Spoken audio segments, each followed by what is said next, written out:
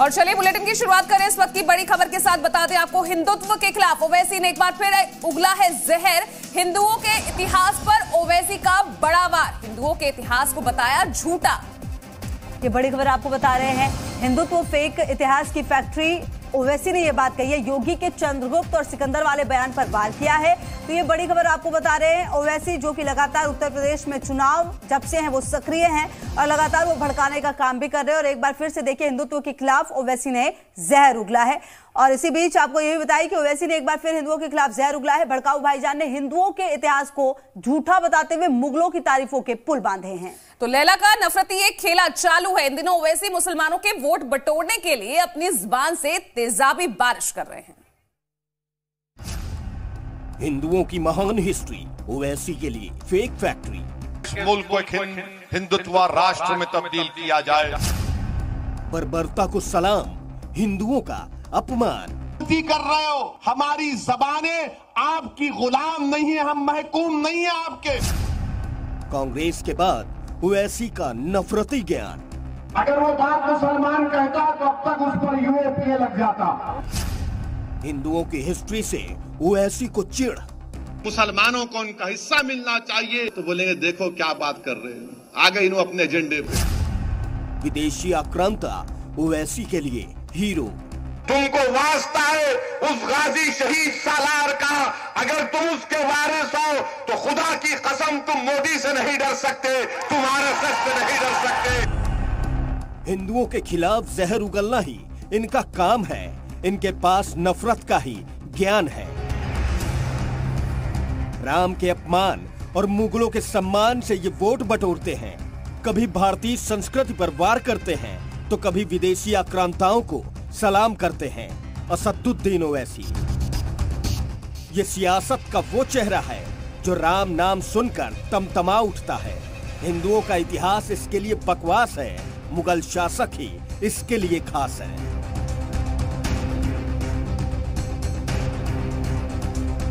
UP में चुनाव है, इसके लिए लैला का नफरती खेला चालू है।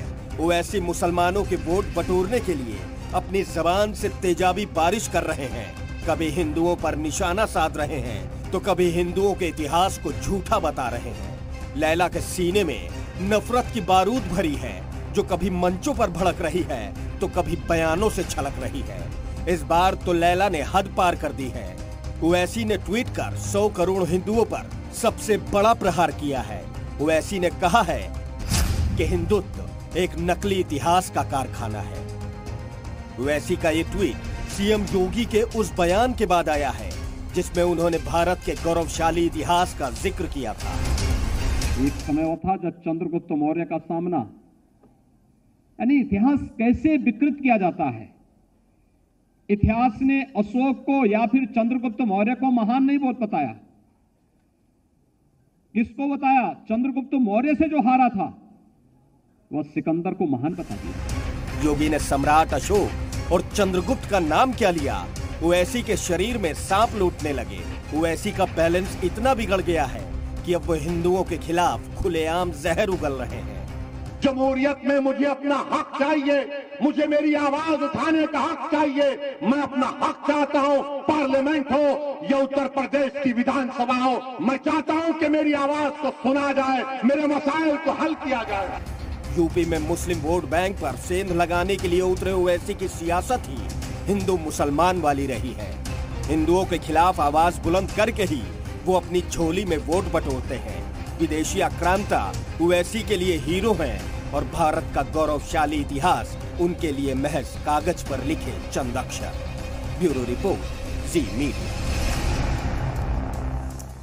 वहीं आगे बढ़े, आपको बताए, कांग्रेस के वरिष्ठ नेता मणिशंकर अय्यर ने भी जहर उगला है। अय्यर ने मुगल शासकों की तारीफ़ की है। बाबर की भक्ति में अय्यर के बिगड़े बोल भी सामने आए हैं। तो बता दें आपको, अय्यर ने हिंदू आस्था का अपमान किया है। अय्यर का बीजेपी पर वार हिंदुत्व पर निशाना साधा और लगातार हम देख रहे हैं किस तरह से यहाँ कांग्रेस की तरफ़ से अब हिंदुत्व पर एक के बाद एक विवादित बयान आ रहे हैं और अब कांग्रेस के वरिष्ठ नेता मणिशंकर अय्यर ने अब जहर उगला है, मुगल शासकों की तारीफ़ की है। और ये पहला मौका नहीं इससे पहले भी कई बार मणिशंकर अय्यर इस तरह के बयान देते रहे राहुल गांधी के बेतु के बयान के बाद अब कांग्रेस के वरिष्ठ नेता मणिशंकर अय्यर का मुगल प्रेम बाहर आया है। मणिशंकर अय्यर ने अंग्रेज़ों और मुगलों की तुलना करते हुए मुगल लुटेरों पर फख्र जताया है। और इतना ही नहीं अय्यर ने हिंदुओं को अत्याचारी बताते हुए हिंदू देवी देवताओं का भी अपमान किया है।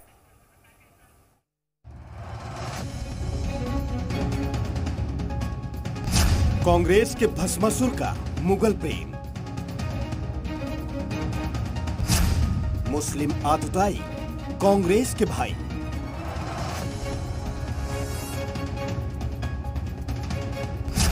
हिंदुस्तान के लुटेरों पर अय्यर को फक मुगलों ने इस देश को अपना बनाया। बाबर की भक्ति में हिंदू दिखे अत्याचार। मुस्लिम आक्रांताओं से प्यार हिंदू गद्दार। वो भी आए थे क्योंकि उनको निमंत्रण दिया गया था राजा जयचंद के तरफ़ से। कि मेरे दामाद को सही सबक सिखाना है तो मैं तो उसको हारा नहीं पा रहा तो आप आइए और मुझको मदद कीजिए। हिंदू आस्था का अपमान, अय्यर का एजेंडा। कहते हैं, सियासत में बयानबाजी का बड़ा रोल होता है। नेताओं का दिया बयान, कभी उनकी पार्टी के लिए वोटों की पैदावार बढ़ाता है तो कभी देश को बांटने का काम भी कर जाता है। देश में ताज़ा हालात ऐसे हैं कि इस वक्त कांग्रेस के नेताओं ने मानो हिंदुओं के खिलाफ बोलने का ठेका ले रखा है कभी सलमान खुर्शीद हिंदू और हिंदुत्व के खिलाफ अपनी भड़ास निकालते हैं तो कभी राहुल गांधी हिंदुत्व और हिंदू को अलग अलग बताकर अपने ज्ञान का परिचय देते हैं what is the difference between Hinduism as we know it and Hindutva? Are they the same thing? Can they be the same thing? If they are the same thing, why don't they have the same name? Why do they have a different name? Why do we use the word Hinduism? Why not just use Hindutva if they're the same thing? They're obviously different things. Rahul Gandhi के बेतुके बयान के बाद अब कांग्रेस के वरिष्ठ नेता मणिशंकर अय्यर का मुगल प्रेम बाहर आया है मणिशंकर अय्यर ने अंग्रेज़ों और मुगलों की तुलना करते हुए मुगल लुटेरों पर फख्र जताया है। ये है अंतर अंग्रेज़ों और मुगलों में कि मुगलों ने इस देश को अपना बनाया। अंग्रेज़ों ने कहा कि नहीं, हम तो यहाँ राज करने के लिए आए हैं, बाकी हमारा घर तो वही है। जहांगीर आधा राजपूत थे और उनके बेटे शाहजहां चार में तीन हिस्सा तो हिंदू था, राजपूत था। वो इस देश के थे। और ये कहना कि बाबर की औलाद इसलिए आपको यहाँ रहने की की इजाज़त ही नहीं है कि आप कैसे आए हो यहाँ, कि आपने हमें, हमारा गला काटा है। अय्यर ने एक तरफ़ मुगलों की वकालत की तो दूसरी तरफ़ बीजेपी पर हिंदू धर्म को बढ़ावा देने के लिए निशाना साधा। उन्होंने कहा कि सत्ता में बैठे कुछ लोग केवल हिंदुत्व को मानते हैं। 1872 में अंग्रेज़ों ने पहला सेंसस करवाया और उससे पता लगवाया, पता लगा कि 666 साल राज करने के बाद मुसलमानों का तादाद भारत में तकरीबन 24 प्रतिशत का था और हिंदुओं का बहत्तर प्रतिशत का था।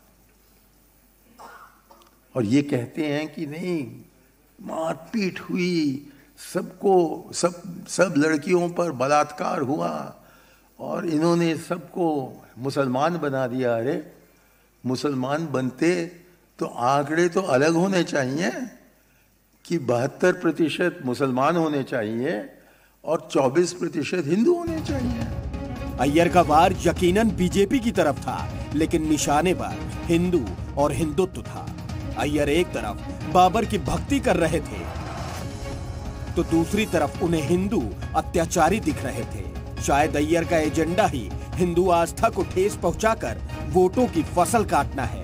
वोटों के लिए बयान ज़रूरी है वादे ज़रूरी हैं, दावे ज़रूरी हैं, लेकिन हिंदू आस्था और हिंदुत्व पर प्रहार करते हुए मुस्लिम आतताइयों को अगर कांग्रेस अपना भाई बनाती है तो ऐसी सियासत पर हिंदुस्तान को घिन आती है।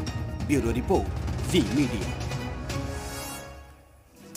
और चलिए आगे बढ़ते हैं खबर में। वाराणसी में आज माँ अन्नपूर्णा की मूर्ति की प्राण प्रतिष्ठा की जाएगी। सीएम योगी मूर्ति की करेंगे प्राण प्रतिष्ठा।